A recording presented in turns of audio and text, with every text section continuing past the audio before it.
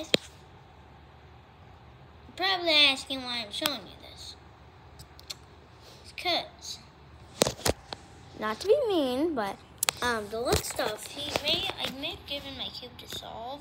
He said no. He kept throwing it on the ground. I came home, and um, yeah. Turn one side. It's happening. Also, somehow these things came out. I don't know how that happened. And then I was crying because that costed thirty dollars.